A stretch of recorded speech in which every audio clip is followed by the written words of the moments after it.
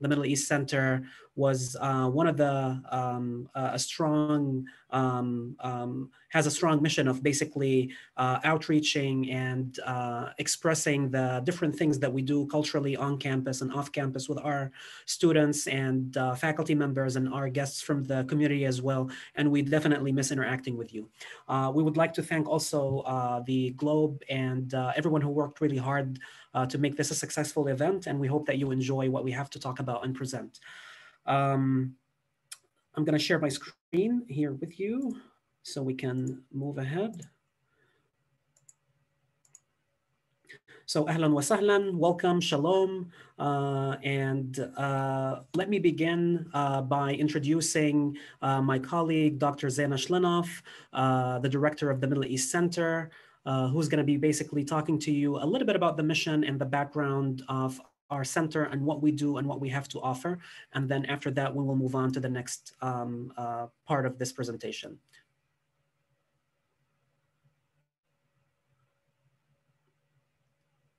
Zeina, you can go ahead. Okay. Well, ahlan wa sahlan. Uh, welcome everyone. I'm so happy to see how many people are joining us. This is International Education Week and this is uh, Education Month. And uh, we are really happy and glad that the Globe really is co-hosting this event with us. This is one of the highlights of, uh, of our activities. So I will tell you a little bit about the Middle East Center. We're here at FSU. We do offer an academic environment for students to develop a deeper understanding of the Middle East we are very committed to tolerance, to inclusion, to civility among all our students. And this is a message that is very important to us and very important to FSU as well, FSU's mission. Uh, we're located in the Kellogg's Research Building. Of course, for now, I mean, we are not there. We're teaching just remotely, but we look forward to getting back on campus and seeing all your lovely faces again. So the next slide, please.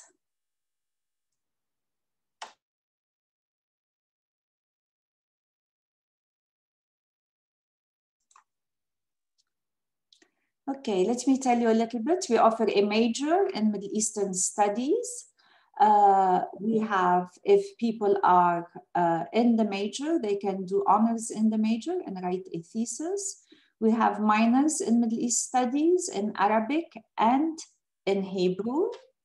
Anyone that uh, would like more information, we just put the Middle East Center's website in the chat so you can find out more information. This is from our academic uh, side. Next slide, please. And we do have a very strong outreach program um, we really is our mission is to increase the knowledge about the Middle East in our students and the individuals in the greater Tallahassee area. Uh, the Middle East Center organizes a lecture series every year, and uh, we have several events that are on campus. We, uh, for 11 years, we have uh, held a Middle East Film Festival. We're working on it for the spring semester, and hopefully we will be able to offer it uh, remotely this year. We have an Arabic outreach program where we outreach to public and private schools in uh, Tallahassee, and our program goes from K through 8th grade, where our students, our Middle East Studies majors, and our student volunteers go to these schools and present the Middle East and tutor students. Uh, is mostly in the after school programs, but also sometimes work with the social studies uh, teachers as well. And uh, our volunteer students can also get the ServScript by, you know, by uh, volunteering with our program. Uh, we'll go to the next one. And now I will let one of our students, Ethan, who is going to tell you about the Arabic Honor Society. This is very uh, exciting because it is a new society and I believe we are probably one of the first in the US to start this Arabic Honor Society. So Ethan, we'll go to you now. Thank you, Dr. Zeina. Um, I'm, I, oh, can you hear me? Yes. Okay, wonderful. Um, I, I'm not sure if Payton was going to cover this part, but um, seems like she's muted right now. So, um, hi, I'm Ethan. I am the historian for the Arabic Honor Society. Uh, Ms. Payton Parkin is our president. Um, the Arabic Honor Society is a student organization that aims to recognize students who have maintained excellent academic performance studying the Arabic language, its culture, and um, the people at Florida State. And so membership is open to all students enrolled in Arabic courses here at Florida State uh, with a GPA of at least 3.0. Um, it promotes excellent scholarship and creates a safe space where students can exchange ideas, thoughts, and achievements regarding the Arabic language in particular and the Middle East as a whole. Um, it should be noted that active members must have taken Arabic courses for at least two semesters, and that can be the fall, spring, or summer.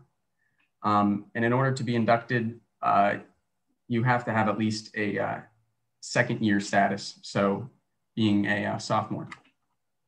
Um, our events coming up for this semester, um, although it is short, we will have one. Um, we're hosting a general body meeting on Monday, November 16th. Um, and the time and the Zoom for that will be provided later. Um, and I will be linking down below a link uh, to submit a Google form if you're interested in joining. Um, we'll just go through, we're gonna introduce the cabinet and the e-board members and Dr. Lababidi, who spoke earlier, is gonna be presenting to us a lecture about his research regarding Arabic phonetics and phonology and dialectic, uh, or sorry, dialectical variations in Arabic, as well as some other fun activities. Um, and we also hope to be uh, hosting conversation tables. I'm unsure if we will be able to do them um, for this semester, but certainly for next semester. So if you are interested in joining, I really do encourage you to fill out that Google form in the link below.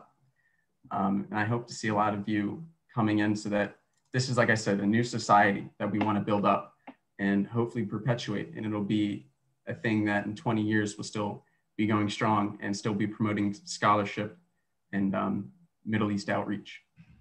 So thank you very much and um, pass it on to Dr. Zafer, who will be talking about uh, the dish that we will be cooking.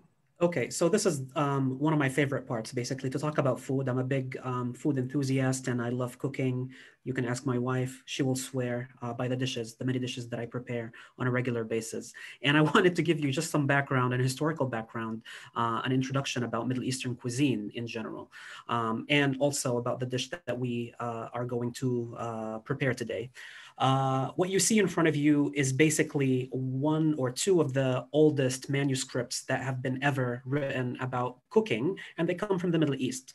The first one has been translated into English and is published. It's called The Annals of the Caliph's Kitchens, and it's uh, basically an introduction by Ibn Sayyar, the writer who comes from Baghdad in Iraq, uh, and it was written in 940 CE during the Abbasid uh, dynasty in Baghdad. It contains more than 600 recipes, and it contains 132 chapters.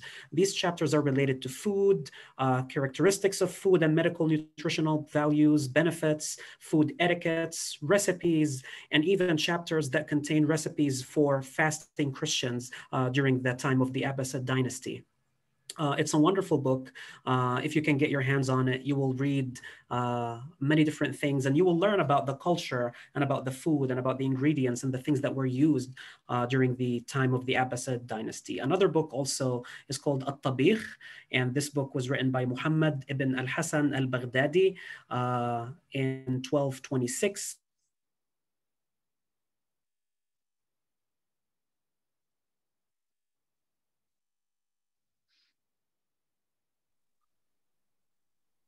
Hi, Dr. Zafer, are you there?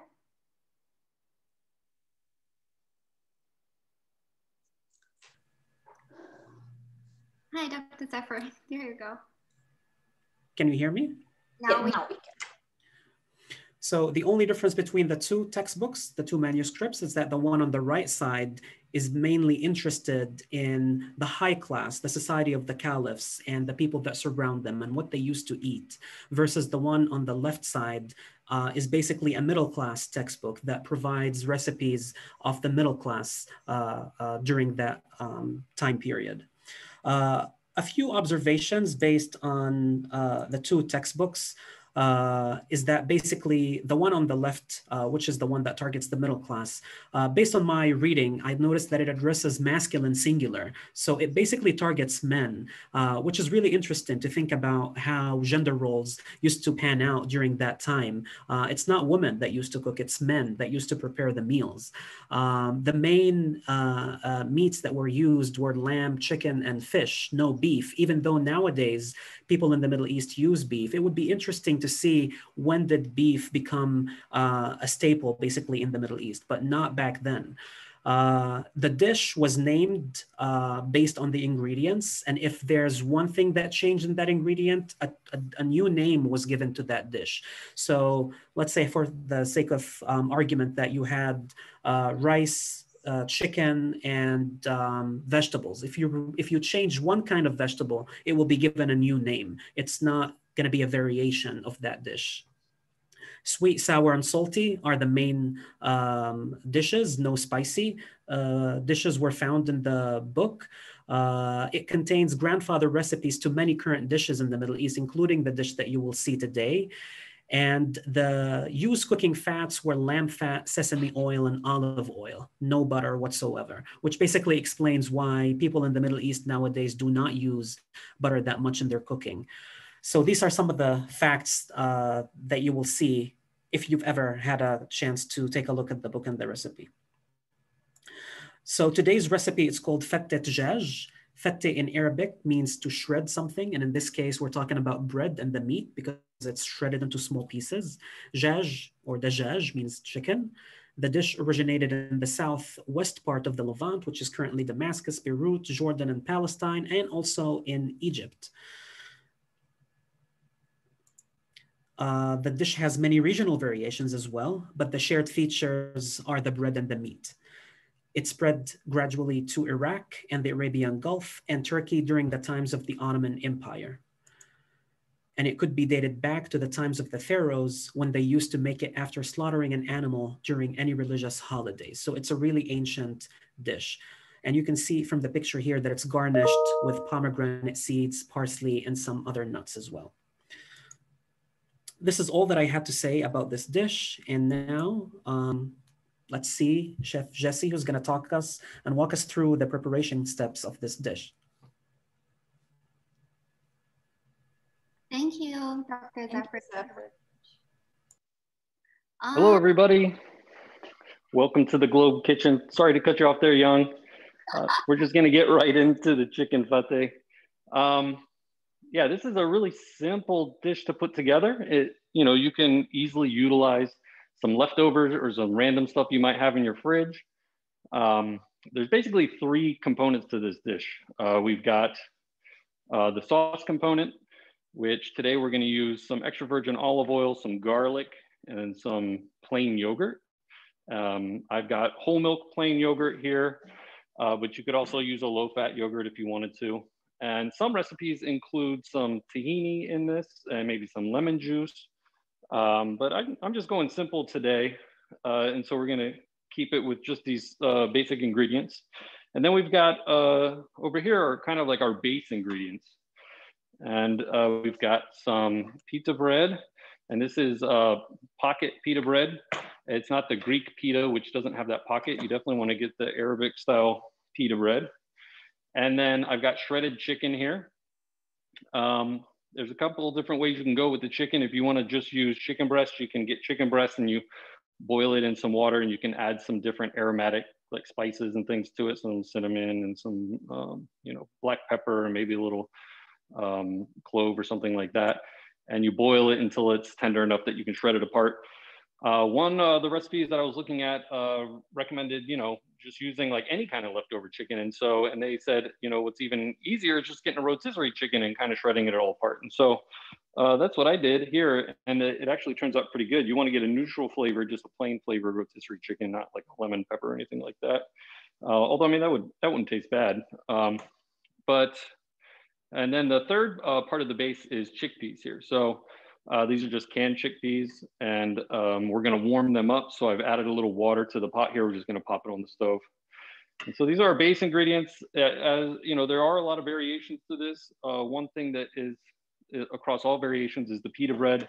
You can use like, you know, kind of stale pita bread. It doesn't have to be fresh. So this is kind of a dish that would utilize, you know, kind of the random things that are in your fridge or, you know, common things that you have around that you can, you know, use up rather than, you know, wasting it. Um, so, and then we've got kind of like the toppings or the garnish. And so here we've got parsley. This is some nice fresh flat leaf parsley. And then I've also got some pine nuts that I toasted in a pan. But I also saw uh, some recipes had uh, slivered almonds um, and different nuts in it. And then uh, also, yeah, like pomegranate seeds and uh, that type of, uh, you know, garnish. So we're gonna add some spices also to the chicken to kind of give it some more flavor. And we're gonna do a little paprika, a little coriander, and then some garlic powder too. All right, so first thing you wanna do is get your bread toasted up. And uh, I also saw a couple different recipes for this, or at least techniques. Uh, you can fry it or you can bake it. You basically just want it to get crispy, kind of like uh, tortilla chips or crisps. And so you're gonna open up the pocket here because uh, we want thin, thin pieces of the bread so it's nice and thin and crispy.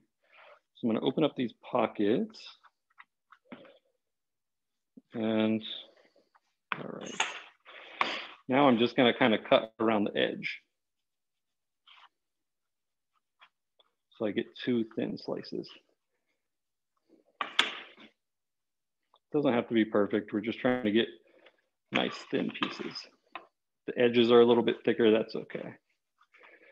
So everything for this recipe I got at Publix, but uh, this pita is actually in the uh, deli section. But we do have a nice uh, store, Apna Bazaar here, that does have a fair amount of Middle Eastern products. And I'm sure you could pick up some uh, more traditional pita from, from Apna if you wanted to. Okay. All right, and also for vegetarians, uh, there was just plain chickpea versions and also uh, eggplant versions of this as well. That looked pretty tasty. I personally love eggplant. I'd like to try that. All right, so this is, we're just gonna slice it into kind of like little cubes, little squares. Doesn't have to be perfect, about an inch.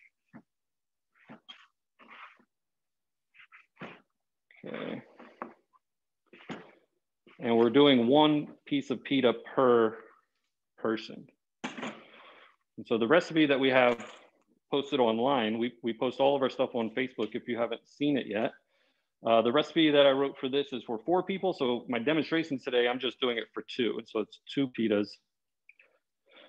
And I'm not measuring the olive oil here. I'm just adding some olive oil.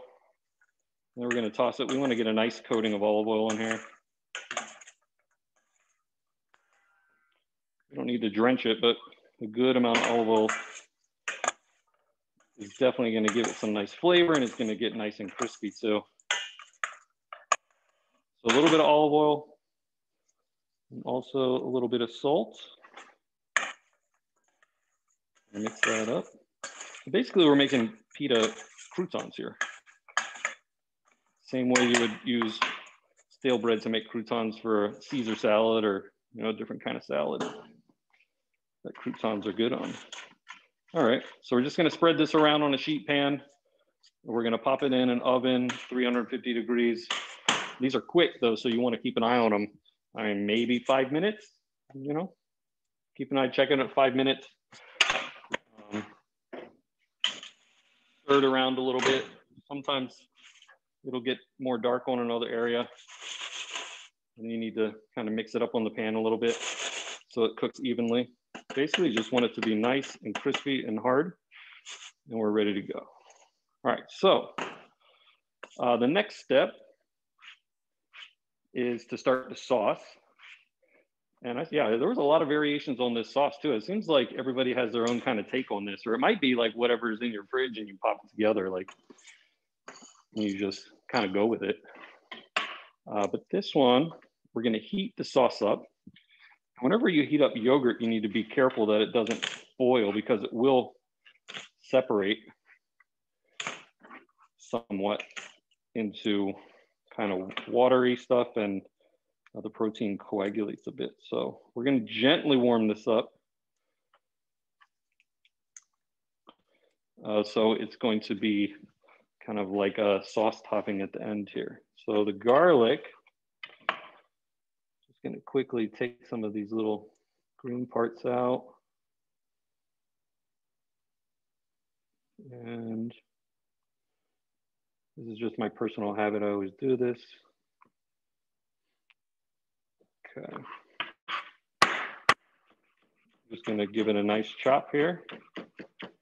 Rinse it up. I always prefer fresh garlic from the clove. A lot of people think it's a nuisance to have to peel it and chop it up, but the flavor is unmatched. So I always recommend using fresh ingredients. Okay, so here's our garlic. And we're gonna take this over to the stove. We're gonna do it in this saute pan right here. So y'all can see it pretty easily, but you know, any kind of small saucepan would work. We're gonna put a couple tablespoons of olive oil in. And we are going to gently saute our garlic. not trying to cook this a whole a whole lot. It doesn't really have to turn brown or you know change color or anything. We just want it to start releasing kind of its aromatic qualities. And so there's that kind of magic moment when you're when you're cooking garlic like this, and all of a sudden you'll just get a big, you know, whiff of some delicious, you know, garlic oil together. And it's like really like, I don't know, it gets my stomach going. Like it always makes me so hungry. I'm like, oh man, I'm ready to eat. So just starting to go here and we're going to gently cook it over medium, medium, low heat.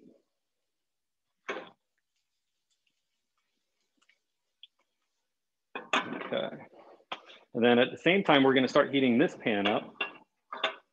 And we're going to cook our chicken in this pan. We're gonna heat it up. So we're also gonna do some olive oil.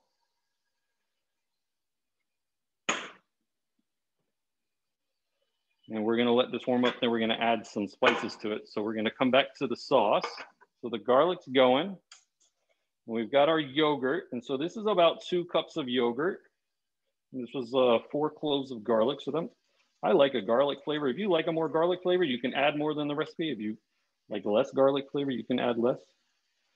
But I think it's definitely going to be beneficial to have some good amount of garlic in here. All right. All right, so I'm gonna make sure this is very low because we do not want to boil this. We're basically gonna warm it up and the yogurt will thin out and it'll become more of like a sauce consistency. We're just gonna let it hang out for a little bit here while we cook our chicken. And uh, we'll taste it after a minute and see if uh, how much salt it's gonna need because we're definitely gonna add some salt to that.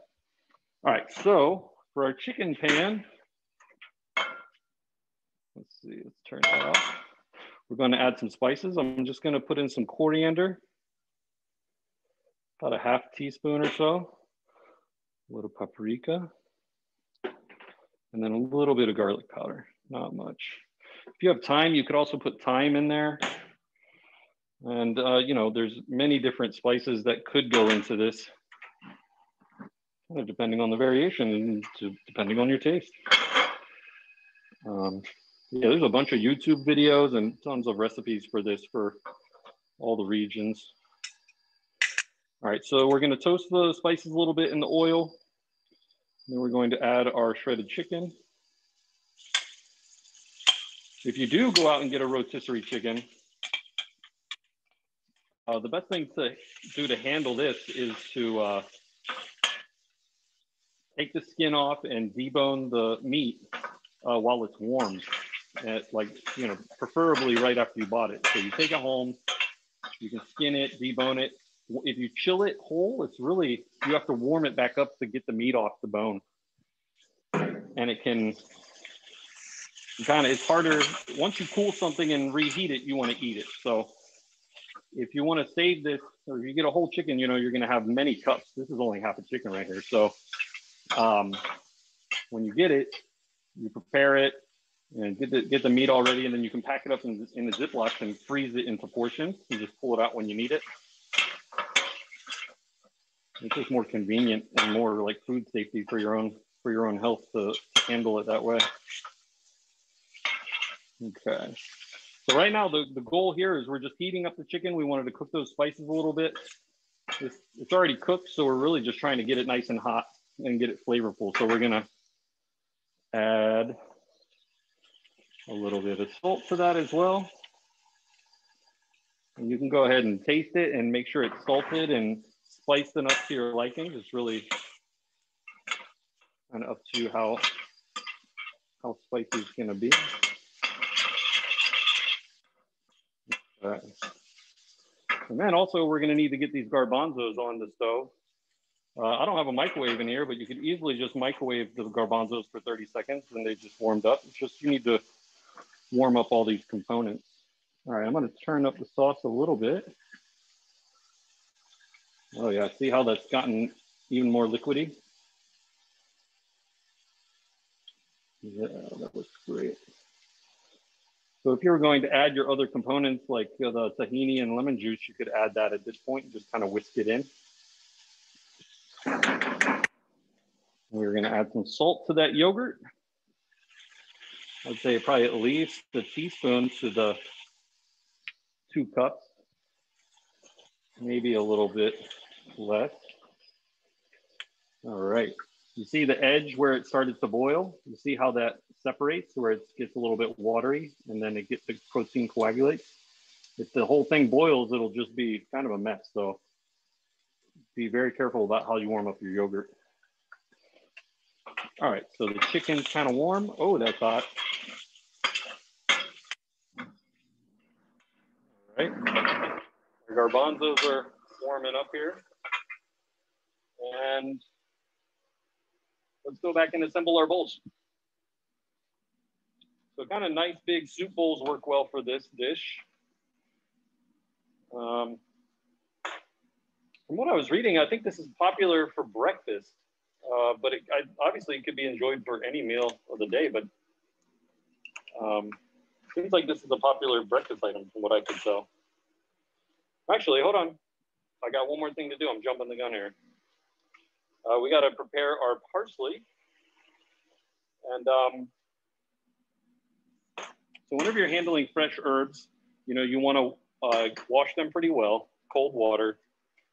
And then you also need to uh, get them pretty dry before you want to cut them up. So paper towel, gently kind of blot them and you can wrap them in a paper towel and just let them sit and the moisture will soak into the paper towel pretty quickly. And uh, you want nice crisp leaves, any kind of herbs, you know, any, any wilting, you're not gonna want to use those.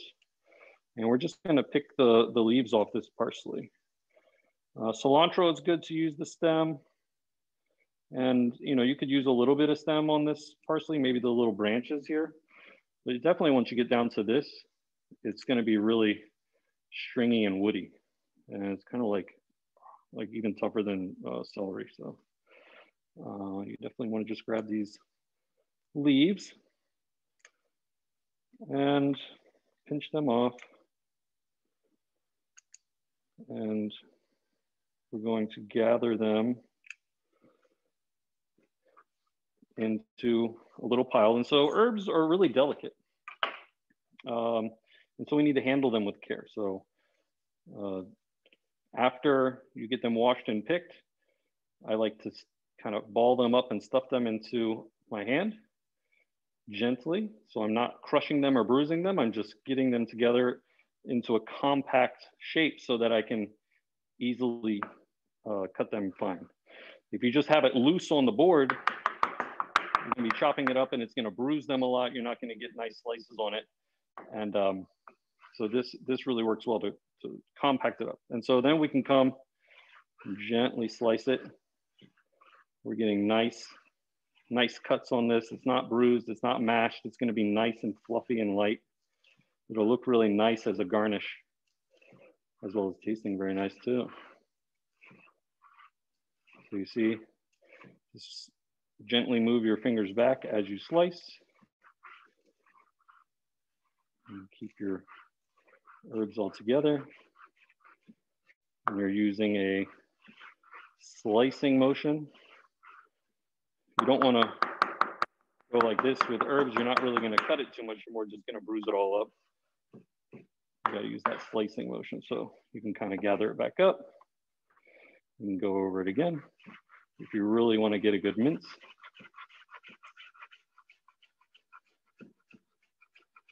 Okay. And there we go. All right. Bonzos are warm. And now we are ready to build our bowls. All right, so we're gonna put half the pitas in one, half the pitas in the other. So this is, this version that we're doing here is kind of like, it, it's a fresh version. So uh, we're building it in the bowl and serving it immediately. You don't want to build this ahead of time and then serve it an hour later. Uh, you want your pita crisp to stay nice and crisp. You get a really nice textural contrast. Um, but there are some other dishes that I saw that uh, layer all of these ingredients and then they bake it together in, a, in like casserole style, which actually look really good to me too. All right, so the garbanzos, we're gonna strain this water out.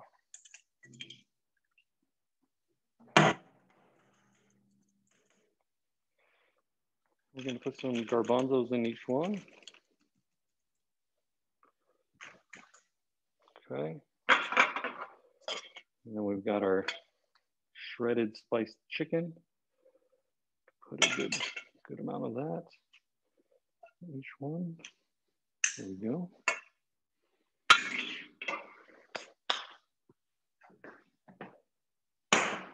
And then we're going to get our sauce.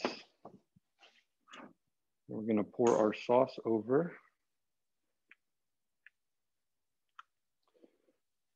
All right, I'm just stirring in this olive oil here. All right. Here goes the yogurt sauce. All right, that looks like enough. Maybe a little more in this one. Okay. And then from here, we'll do a little garnishing. And so we've got the pine nuts. Do a couple little spots here. You can just kind of sprinkle it over. I'm gonna do a little kind of a parsley stripe. Some of the pictures of these online are really nice. They people really put this together really well. So give you a lot of color contrast and texture contrast. I'm gonna do the, and yeah, the pomegranate seeds in particular are just beautiful. I think it's actually pomegranate season's coming up here pretty soon in the States anyways. A little parsley, or sorry, some paprika. Whoops, it's a little heavy. And then I'm gonna do a little swizzle of olive oil on top there. All right, well, this is chicken fatteh. Uh, really easy dish to put together. Um, hope you all enjoyed the demo and give it a shot at home. Uh, thanks for joining us today, and uh, I will see you all next week. Thank you. Thank you, Chef Jesse. Um, it did, does look so good. Thank you, Laura, for zooming in here. it looks so good. All right. Um,